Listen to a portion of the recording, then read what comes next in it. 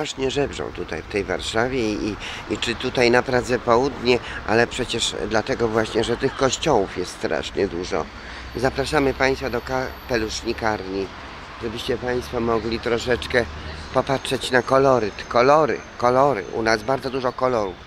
Koloru. Elhof Art 2000, El Mercedes, Witeklandia, no i też jest El Mercedes na Daily Motion, czyli cztery kanały.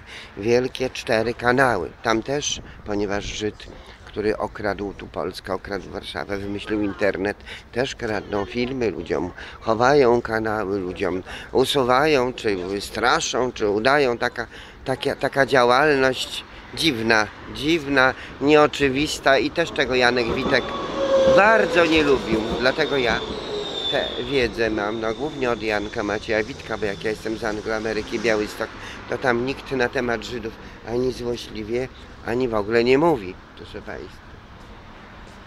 Że coś nie tak. Tylko, że z Angloameryki Białystok tu przez Warszawę do Łodzi przepędzili Żydów.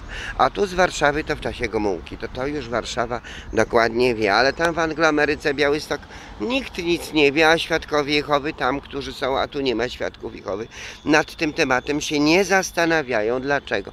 Dlatego, że świadkowie Jehowy wiedzą, że Bóg kocha wszystkich. Zaczęło się kiedyś od Żydów, ale to co było, a nie jest, nie wpisuje się w rejestr, e, zwłaszcza i zważywszy, że Żydzi strasznie podpadli, proszę Pani, że nigdy się Jachwę nie słuchali.